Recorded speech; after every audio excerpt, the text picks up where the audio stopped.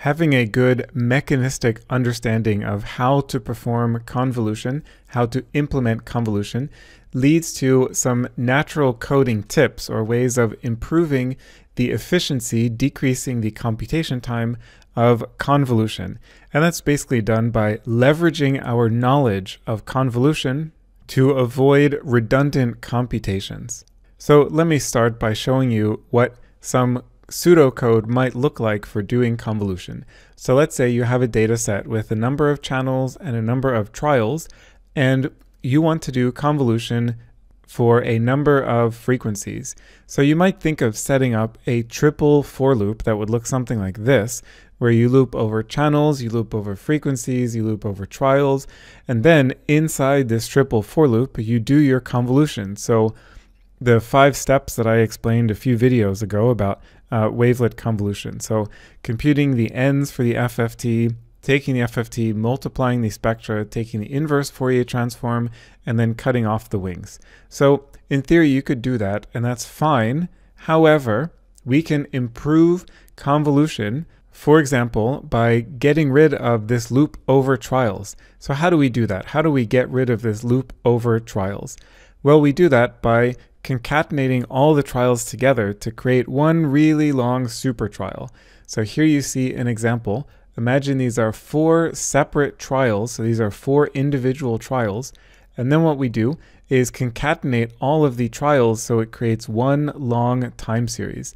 So you can see that the end of the first trial is here, and then the beginning of the next trial is here, and then that just cuts right down there.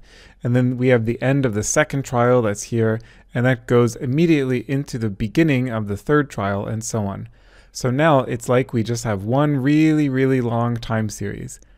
And then you run the convolution with this one trial, and then you can extract whatever you want to extract, the features that you want to extract, the power time series, the phase angle time series, the bandpass filtered signal, and then you can split this back up into the individual trials. And then you know, continue with whatever analyses you were planning on doing, for example, such as computing a trial average.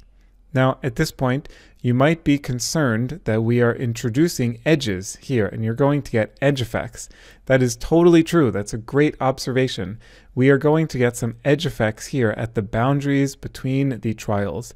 However, you are going to get edge effects no matter what even if you don't concatenate the trials, you are still going to get an edge effect. You still have an edge here. Edge effects are inevitable in filtering. They are unavoidable. I'm going to talk more about edge effects in a later video and how to deal with them, how to get around them. But the short answer of the story is that you just have to accept that there will always be edge effects in your filtered signal. And so essentially the, the best thing to do about edge effects is to make sure you cut sufficiently long epochs, sufficiently wide epochs, so that the edge effects, any possible artifacts, any possible contamination from having edges subsides before the time periods that you are interested in analyzing. So again, I'll talk more about the details with specific recommendations in a later video. But the point is, yes, you get edge effects, but you're going to have edge effects even if you don't concatenate all these trials. Okay, so that allows us to get rid of one loop here, which is pretty good. So that will already speed things up quite a bit. Now let's think about this a little bit more.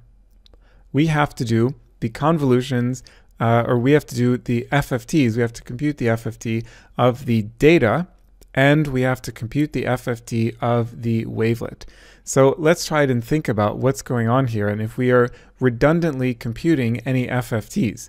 So consider that for these different frequencies, these are the frequencies that define the wavelets, the data, the EEG signal, is not changing inside this loop. These are this is the loop over wavelet frequencies. The EEG data don't change. We are extracting different features from the data corresponding to different frequencies, but the data themselves don't change. So the Fourier transform of the data certainly doesn't change.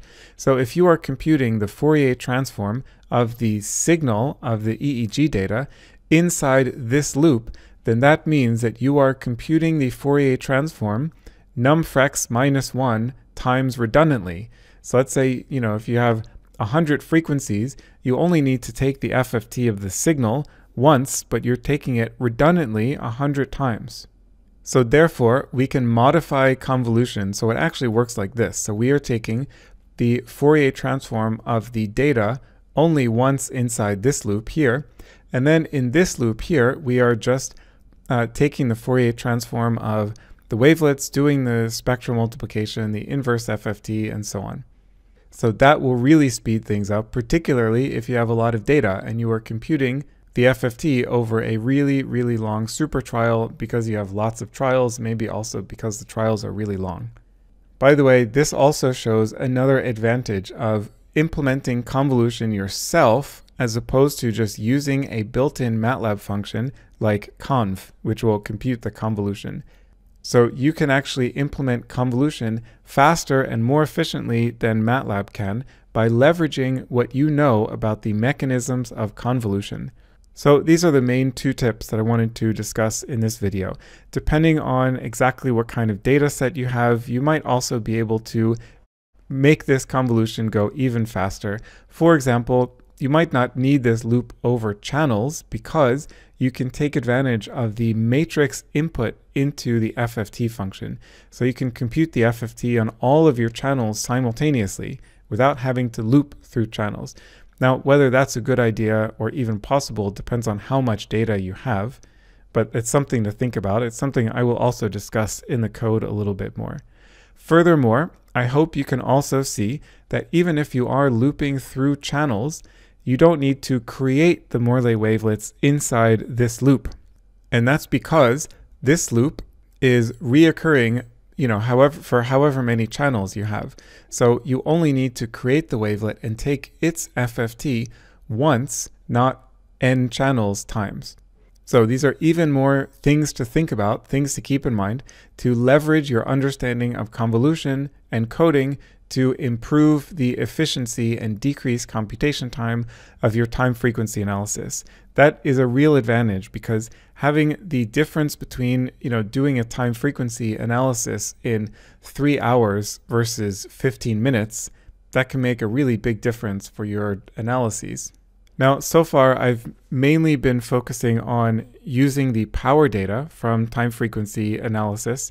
In the next video, the next several videos, I'm going to start talking about what to do with the phase values, how to interpret them, and how to quantify the consistency of phase angle time series data over trials.